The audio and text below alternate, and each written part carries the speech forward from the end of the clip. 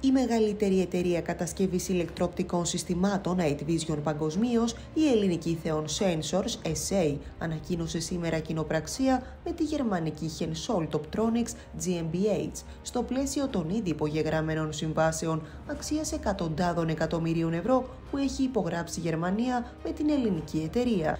Συγκεκριμένα, όπως ανακοινώθηκε, η ελληνική εταιρεία θα προσφέρει την υψηλή τεχνολογία που έχει αναπτύξει στο χώρο των ηλεκτροπτικών συστημάτων στη γερμανική αγορά με διπλή γραμμή παραγωγής.